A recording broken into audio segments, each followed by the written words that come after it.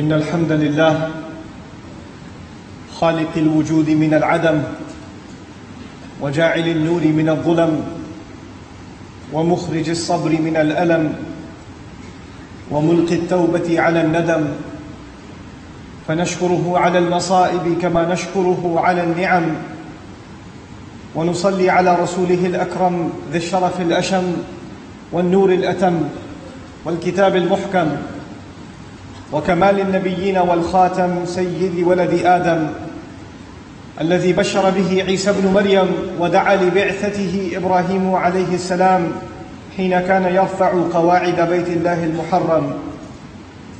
فصلى الله عليه وسلم وعلى أتباعه خير الأمم الذي بار الذين بارك الله بهم كافة الناس العرب منهم والعجم. فالحمد لله الذي لم يتخذ ولدا ولم يكن له شريك في الملك ولم يكن له ولي من الذل وكبره تكبيرا. والحمد لله الذي أنزل على عبده الكتاب ولم يجعل له عوجا. والحمد لله الذي نحمده ونستعينه ونستغفره ونؤمن به ونتوكل عليه ونعوذ به من شرور أنفسنا ومن سيئات أعمالنا. من يهده الله فلا مضل له ومن يضلله فلا هادي له ونشهد أن لا إله إلا الله وحده لا شريك له ونشهد أن محمدا عبد الله ورسوله. أرسله الله تعالى بالهدى ودين الحق ليظهره على الدين كله وكفى بالله شهيدا. فصلى الله عليه وسلم تسليما كثيرا كثيرا. ثم أما بعد فإن أصدق الحديث كتاب الله وخير الهدي هدي محمد صلى الله عليه وسلم وإن شر الأمور محدثاتها وكل محدثة بدعة وكل بدعة ضلالة وكل ضلالة في النار. يقول سبحانه وتعالى في كتابه الكريم بعد نقول أعوذ بالله من الشيطان الرجيم. وإذا سألك عبادي عني فإني قريب. أجيب دعوة الداعي إذا دعان. فليستجيبوا لي وليؤمنوا بي لعلهم يرشدون. رب اشرح لي صدري ويسر لي أمري واحلل عقدة من لساني يفقه قولي. واللهم ثبتنا عند الموت بلا اله الا الله. واللهم اجعلنا من الذين امنوا وعملوا الصالحات وتواصوا بالحق وتواصوا بالصبر. آمين يا رب العالمين. In this brief moments that I have to share with you, I will talk to you about just one ayah of the Quran. This is the ayah about dua. About making dua to Allah. And this ayah occurs in the Quran in Surah Al-Baqarah after Allah talks about the month of Ramadan. And there is a connection between the subject matter of the month of Ramadan and dua. Allah is teaching us one of the best things you can do in Ramadan is to make dua to Him. And to make dua that is full of hope. That we call on Allah and we expect Him to answer our dua. We're supposed to be optimistic and positive when we make dua to Allah. But I wanted to describe to you something so beautiful about dua that Allah teaches us in this ayah. There are many, many lessons here, and I'll try to capture as many of them as I can in the half hour or less that I have with you. Allah Azza wa Jalla begins, He says, وَإِذَا سَأَلَكَ عِبَادِي عَنِّي As I recited the Arabic to you. When my slave asks you about me, that's how it's translated. When my slaves, actually, the plural, when my slaves ask you about me, فَإِنِّي قَرِيب then I am near. You see, let's stop here for a second and think about the word إِذَا. إِذَا in Arabic it means when. When. And it does not mean if. There's a difference between saying إِذَا and in. Allah did not say وَإِن سَأَلَكَ عِبَادِي عَنِّي قال وَإِذَا سَأَلَكَ عِبَادِي عَنِّي There's a difference. So the difference has to be understood. I'll give you an example. When a son goes away from the mother, he travels for work, he gets a job in another country, or he's going to university and college in a different country, and the mother misses him. The mother does not say, if my son comes back, I will be so happy. She doesn't say that. She says, when my son comes back, I will be happy. She does not say if. When they're on, your family's on the plane. They're on the plane. They, the plane hasn't landed yet. You don't say, if they land, I'll take care of them. You say, when they land, I'll take care of them. Why is that? Because you expect something. If you say if, it means you have no hope. Maybe you think there's something bad going to happen. If you say if, the mother says, if my son comes back from college, I'll be so happy. She's thinking maybe he's not going to come back. So she says, when? When she is sure and she's expecting for her son to come back. Allah Azza wa Jalla in the ayah did not say, if my slave asks you, meaning asks Rasulullah sallallahu alayhi wasallam.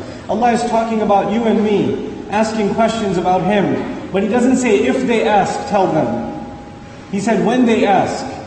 When, when, they, when my slaves ask. Now what does that mean for us? That means Allah is expecting from you and me to ask about Him. He's expecting it from us. He's waiting for us to ask about him. Subhanallah. That's in the, inside the word ida. Then there's ida سَأَلَكَ. It's not ida يَسَأَلُكَ. In the Quran, after ida, you can find the present tense and the past tense. And the present tense means something that happens over and over again, like ida tutla عَلَيْهِ آيَاتُنَا. It's used. But sa'ala is not ida yas'alu. إِذَا سَأَلَى is what's called الفِعْلَ الْمَاضِي. It's the past tense. Now why is that important? Allah is waiting for you to ask at least once. Just ask Him at least once. So He's not even expecting you to go and ask more, many, many, many times. At least ask one time. He's still waiting for you and me. SubhanAllah. You know, there are people that you know that are becoming far away from Allah's deen. Maybe they're in your family. There are people who make, don't make salat anymore. There are people who stop making istighfar, they stop making tawbah. There are people that are maybe doing some haram things and you know about it. And you talk to them and you get angry. And when you get angry with them, sometimes they think Allah is angry with them too. But Allah Azza wa Jal does not give up on people. He doesn't give up on people. Even those people, if they can come one time, just ask about Allah, just want to learn from about Allah. إِذَا سَأَلَكَ عِبَادِي عَنِّي then it's sa'alaka, meaning we go to Rasulullah sallallahu alayhi wasallam to ask. This is also important.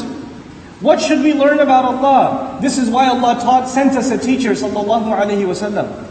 We have to learn about Allah from His Messenger alayhi salatu wasalam. And His Messenger will give not only us His own words, the hadith, but He'll also give us the word of Allah, the Quran. So asking the Messenger is actually, when we are reciting Quran, we're fulfilling the ayah. Because these ayat came when somebody asked Rasulullah sallallahu alaihi wasallam, you can think of it like this. Even the ayat of the Quran, part of them, they are the result of a dua. Because somebody came and asked about Allah and then the ayah came down. So even the greatest gift of humanity, the Quran, is the result of the dua of someone coming, or a question of a sahabi coming to Rasulullah sallallahu alaihi wasallam. This is wa idha sa'alaka. Then it's ibadi. That is important to understand. When my slaves, plural, all of us ask. Now, I have been a teacher in my life. And when you are a teacher and you have students, you cannot ask, all the students cannot ask a question at the same time. They can't do it. You have to pick one at a time. And even if I try to answer the question, I can only answer one question at a time. And sometimes the student is waiting, he's raising his hand, asking a question, but I pick someone else, I pick someone else, I pick someone else, and I don't even get to him. I don't even get to his question. Because there's only one of me, and there's a hundred of them, there's 20 of them, there's 50 of them. If I wanted to speak to every one of you today for one minute, it's impossible. That's impossible. There's a thousand of you here. There's a thousand minutes. It's impossible. I can't do it. Because there's only one of me, and there's lots of you.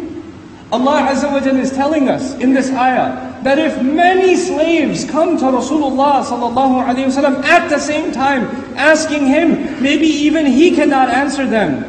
And maybe even he can't even get back to them with the answer. So Allah Azza wa removes the messenger sallallahu alaihi wasallam from the ayah. So he does not say, وَإِذَا سَأَلَكَ عِبَادِي عَنِّي فَقُلْ لَهُمْ إِنِّي قَرِيبٌ No, no, no, no, no. When my slaves ask you about me, then go and tell them I am near. Because they asked the Prophet, والسلام, if you ask the Prophet, then the answer should come from the Prophet himself. والسلام, not in this ayah. Allah says, they came and asked you, but I will answer them myself. I will answer them myself. It's incredible. What we are learning is Allah wants to communicate with you directly. He wants to talk to you directly. This is what Quran is. Allah is talking to you directly. He wants to speak with you. He wants to tell you Himself. He doesn't want you to learn from somewhere else, someone else. He wants you to learn from Him first. And what does He tell you? فَإِنِّي قَرِيبٌ No doubt about it, I am near. Then no doubt about it, I am near. In other words, this is not me telling you that Allah is near. It's not even Rasulullah sallallahu alaihi wasallam telling you that Allah is near. Allah Himself is talking to you and saying Allah is near. He's telling it to you. And He does not say, Inna Allah qareeb. Allah is near. He says, Inni qareeb. Inni qareeb. I, no doubt, I am near. Subhanallah. When he says I in the Quran, when ana is used in the Quran, it is used either when Allah is extremely angry, or it is used when Allah has extreme love. Extreme love. So either you will find the word ana in the Quran like inni u'adhibuhu adhaban la u'adhibuhu ahadan min al-alamin. I will torture him with a torture that I have never tortured anybody with. The toughest ayat of Quran will have ana. Or Allah will use ana in the ayat that have the most extreme love from Him. So He says, "What ana tawwabur rahim, atubu alayhim." You know, I will accept their tawbah. I. When Allah uses ana, He doesn't use nahnu, He doesn't use huwa, He uses I for Himself. I. Then it is actually an expression of Allah's love. In this ayah, Allah is already telling you that He has extreme love for you. And He's talking to you directly. You say, if you say, Inna Allah qareeb, Allah is near, then it says information. But if Allah says, I am near, that means He's directly addressing you. He's engaging you in conversation. And then He says something so beautiful. First of all, the slave came to ask about him. And Allah, Allah could have told us so many things about him. Allah, know, Allah has so many names. Allah has so many, so many attributes. فَلِلَّهِ الْأَسْمَاءُ الْحُسْنَى Allah has the most beautiful names. But if somebody wants to learn about Allah, in this ayah, Allah says the first thing you need to know is that no doubt about it, I am near. So near that I can talk to you. I'm so near that I can talk to you. That's how close I am to you. You and I have to understand the closeness of Allah in this ayah. فَإِنِّي قَرِيبٌ Then people make dua. And people make dua and they think, maybe Allah will listen. Maybe Allah will respond. But you know, I'm not a good Muslim. I do a lot of bad things, so my dua, 50% chance. Maybe 5%. Maybe it'll work, maybe it won't work. Listen to the ayah carefully. Allah says, Ujibu. Ujibu. Which is translated, I answer. I respond. But it's different from astajibu. When in Arabic you say astajibu, it could be that you respond, but you're trying to respond. Or you respond over time. Not right away, over time. But when you say ujibu, then ala al it's immediate, he responds right away.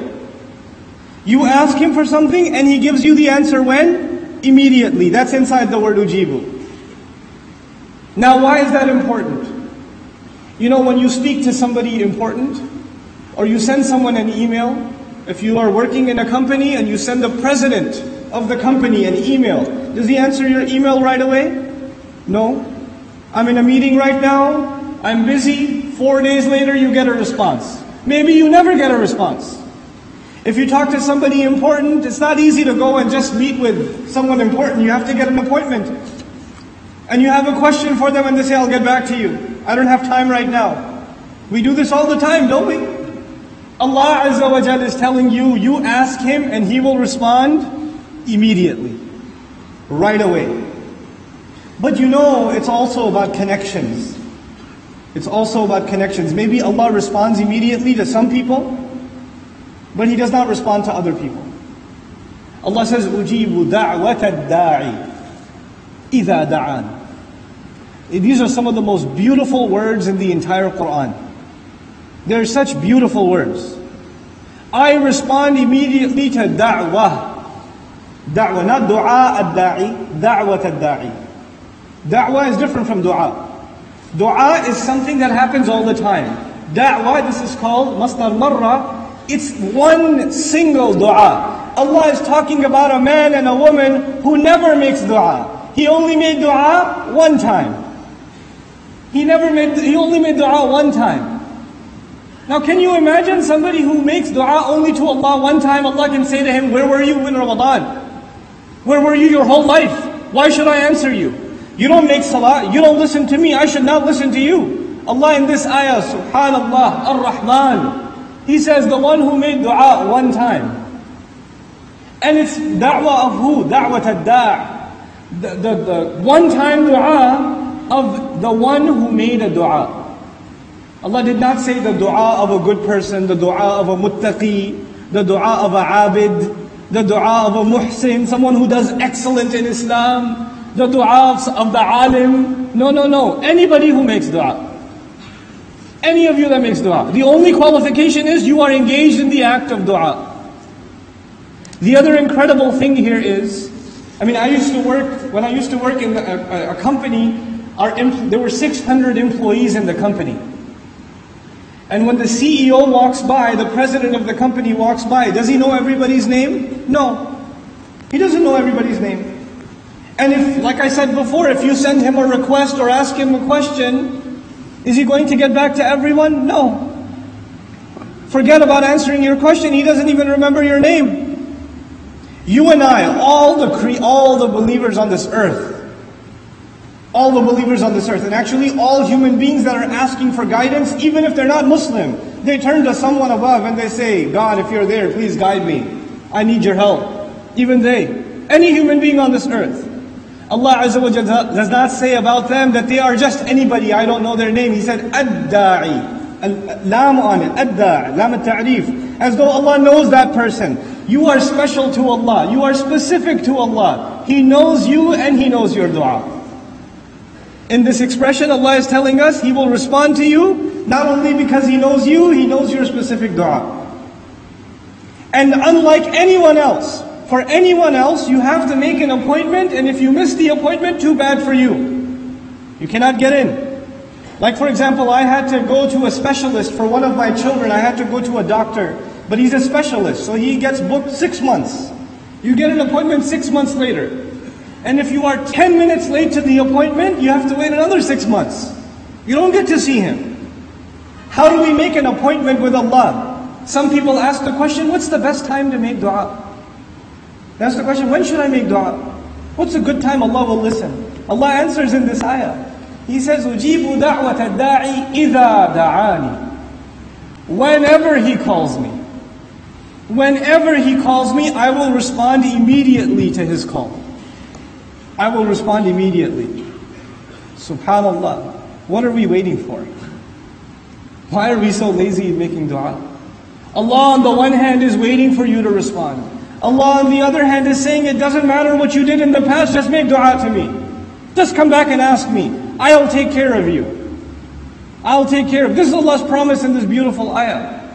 But He, he gave such a beautiful offer to you and me, and at the end of it, he said, okay, this is what I will do for you. Now here's what you can do for Allah. Allah is making Himself available to you and me for dua. But what does He want from you and me? The, that's the conclusion of the ayah.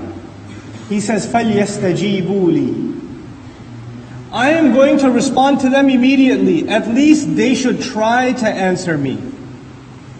So he didn't say, فَلْيُجِيبُوا لِي They should answer me completely and immediately. No, at least try to answer Allah. Meaning just like you are asking Allah something, Allah is also asking you something.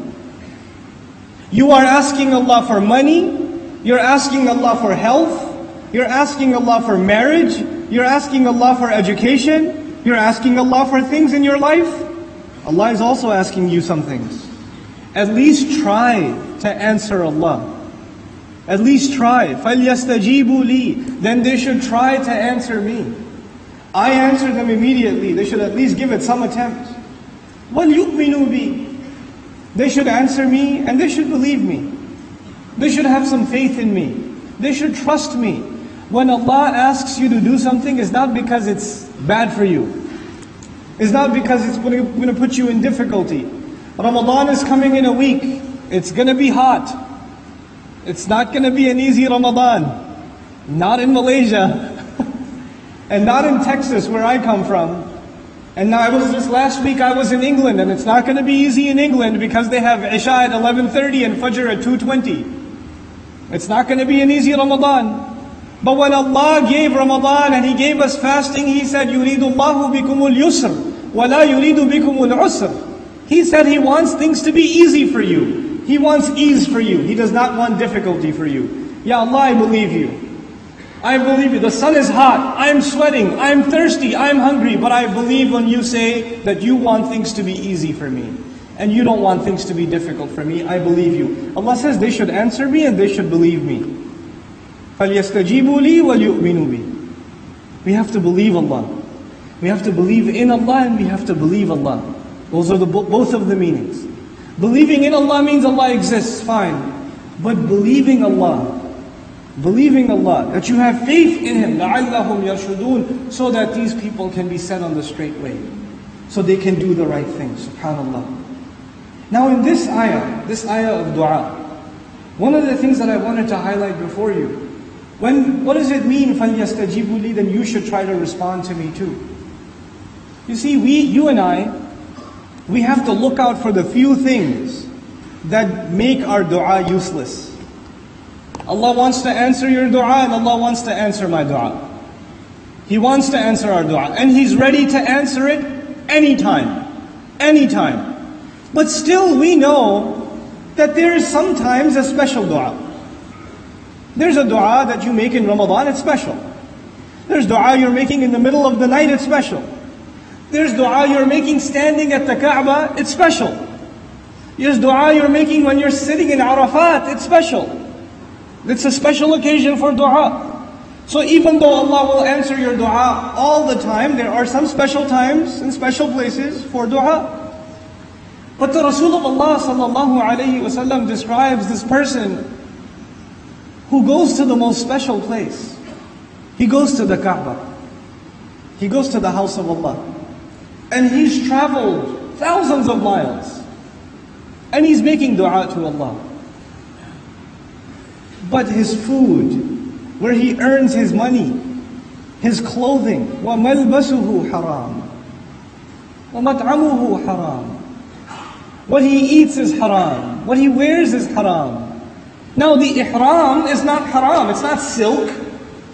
So what does it mean that his clothing is haram? The money that he used to buy the ihram is not coming from a halal place. He's eating halal food, he's eating the biha halal food. But the money he used to buy that food is not halal money. So the food is haram too. فَأَنَّا يُسْتَجَابُ لَهُ How can he get answered? How can that person get answered? Subhanallah. On the one hand, Allah wants to answer you, and Allah wants to answer me. Allah is waiting for your dua, and Allah is waiting for my dua. Allah is saying, forget what happened in the past, just make tawbah and come back to Him. You don't have to be a alim or a scholar or a abid, anything. Just turn back to me right now. You don't even have to have a lot of knowledge. You don't have to know Arabic. If you don't know Arabic, you can make dua in Malay. You can make it in English. Just make dua to Allah. Just go back to Him. Just that much. But you know what? You first have to get away from, at least answer Him a little bit. Get away from things that He hates, that He does not like for you. And some, this, this is important for us to understand. Why is it that Allah says He wants ease for you? Because sometimes haram money is easy. It's a lot easier than halal money. Haram money is available. It's accessible. It's so easy to get and then you don't take it and the halal money is little bit and the haram money is a lot. So you want to go for it. Nobody will find out. It's just between you and nobody else. You think, you know, yes, Allah will be angry, but I'll just make some extra salat in Ramadan, I'll be fine. You know, I'll get away with it. So you don't think about it twice. For those of you that are running businesses, if you're cheating your customer, for those of you that have jobs and you're not doing your work, when your boss is, your, your boss is not there. You're in the office by yourself and you're sitting there playing video games instead of doing your work. Is that halal? Is that you earning your money? Does he know what you're doing? Is that what he paid you for? You know, we have to ask ourselves these questions. When your boss is there, then you show up to work on time. When your boss is on vacation, you're also on vacation, you don't show up. Right? This isn't, this, this isn't the way of a Muslim. Allah Azza wa Jal expects that He will answer your dua, but you have to do what He expects too. You have to do the right thing. You have to earn your money the halal way. And this is not just about people who earn money from selling, you know, alcohol or drugs or whatever else. It's also for people who cheat, who lie, who are dishonest, who take bribes. This is also a haram way of making money. And this, if you do these things, then your dua, you can make dua all night. You're blocking your own dua. Allah is not preventing your dua, you're preventing your own dua. You are disqualifying yourself. Why would you do that to yourself? When Allah is waiting, His invitation is open. So this Ramadan, as this Ramadan approaches, let's you and I make this Ramadan not just about our ibadat to Allah, which are important. We're going to do more ibadah to Allah than any other time of the year in Ramadan. But this Ramadan, we also make a Ramadan of changing the way we, we practice our work, changing the way we earn our money, changing the way how, how honest we are with our business partner, with our customer, with our coworker, with our boss, with our employees. We have to change these things because we have to earn Allah's dua. And wallahi, there are so many of us, nobody can check. Nobody will know. If you're cheating, nobody will find out. The government will not find out. Your, your company will not find out. The only one who knows is you and Allah.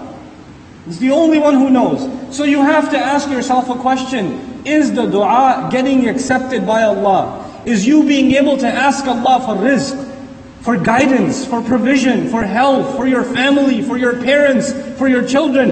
Is that dua worth it? Or no? Is the money worth more?